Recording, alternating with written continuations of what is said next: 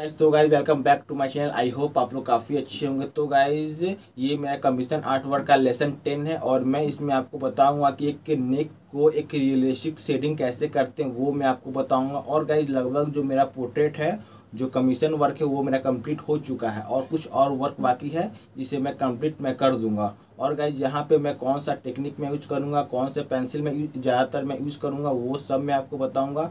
तो गाइज़ अगर आप मेरे चैनल पर नए हैं और बिल्कुल नए हैं तो उसे सब्सक्राइब कर दे और बेल आइकन को ज़रूर प्रेस कर दे, क्योंकि ऐसा ऐसा जो इन्फॉर्मेटिव वीडियो है, वो काफ़ी और आगे आने वाली है। और गाइज़ वीडियो को पूरा देखिएगा और अच्छे समझिएगा। तो गाइज़ आइए स्टार्ट करते हैं। Let's go so so guys मैं यहाँ पे आ, नेक पे कैसे मैं शेडिंग करूँगा? बिल्कुल आसान तरीका है बिल्कुल बेसिक टेक्निक है वो मैं आपको बताऊँगा। और अगर आप भी चाहते कि हाँ मुझे भी कमीशन वर्क काफ़ी ज़्यादा मिले और मैं भी काफ़ी अच्छे अच्छे मैं पोर्ट्रेट और काफ़ी ज़्यादा रियलिस्टिक पोर्ट्रेट मैं ड्रॉ करूँ तो गाइज़ ये वीडियो आपको काफ़ी ज़्यादा हेल्प करेगी। और इसके रिलेटेड जितना भी मैंने वीडियो मैंने अपलोड मैंने किया हूँ वो सब वीडियो आपको काफ़ी हेल्प करेगी। तो गाइज़ आइए स्टार्ट करते हैं। Let's go.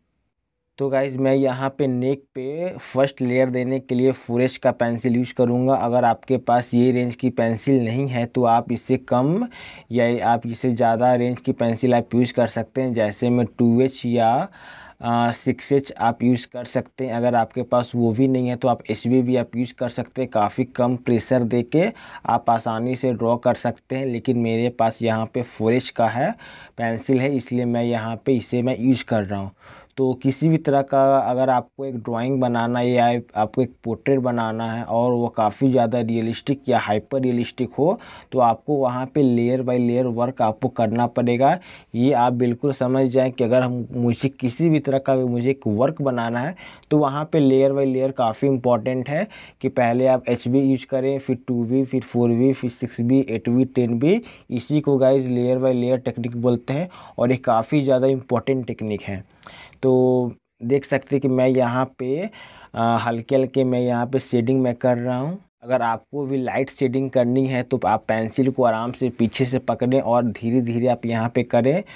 भले ही वीडियो में थोड़ी फास्ट यहाँ पे शो कर रहा है, लेकिन मैं यहाँ पे काफ़ी आराम से और काफ़ी धीरे धीरे मैं यहाँ पे पेंसिल को यूज़ कर रहा हूँ कि इसमें पैचेस नहीं है। अगर आप फास्ट करेंगे पेंसिल को मूव करेंगे तो स्किन जो स्किन पे पैचेस आ जाएँगे जो कि बिल्कुल ख़राब लगते हैं, इसलिए आपको धीरे धीरे आपको आसानी से आपको यूज़ करनी है। तो देख सकते हैं कि अब हम इसके बाद शेडिंग मेरा कंप्लीट हो चुका है। फ़र्स्ट लेयर मेरा हो चुका है। अब हम इसे ब्लेंड करेंगे। तो गाइस ब्लेंड करने के लिए आप बहुत सारे आप टूल्स यूज़ कर सकते हैं। जैसे मैं ब्रश जैसे मैं आप यहाँ पे देख रहे कि मैं यहाँ पे ब्रश जो आप यूज़ कर रहा हूँ, अगर आपके पास ये नहीं है तो आप टिशू पेपर या कॉटन या ईयरबड या ब्लेंडिंग स्टम्प आप यूज़ कर सकते हैं, लेकिन मेरे अकॉर्डिंग अगर सही मायने में अगर कोई टूल से अच्छा टूल से ब्लेंडिंग के लिए तो ब्रश है और किस तरह का ब्रश अगर आपके पास मेकअप ब्रश है तो काफ़ी बढ़िया है। और मैं अब यहाँ पे सेकेंड लेयर में यहाँ पे देने वाला हूँ तो मैं यहाँ पे अब एच रेंज का पेंसिल में हम यूज़ करने वाले हैं। जो पेंसिल है वो काफ़ी ज़्यादा थोड़ी सी डार्क होती है और उससे काफ़ी अच्छे शेडिंग भी हो जाती है और पेंसिल को इस तरह से शार्प करके आप आसानी से कर सकते हैं। एक सॉफ्ट शेडिंग आप कर सकते हैं।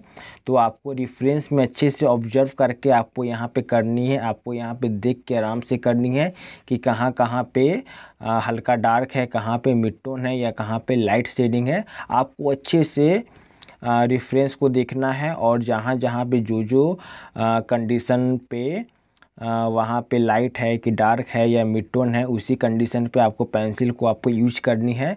जिस तरह से मैं यहाँ पे कर रहा हूँ तो देख सकते हैं साइड में काफ़ी ज़्यादा मिड टोन है, इसलिए मैं यहाँ पे एचबी से धीरे धीरे करके यहाँ पे मिड टोन में ला रहा हूँ।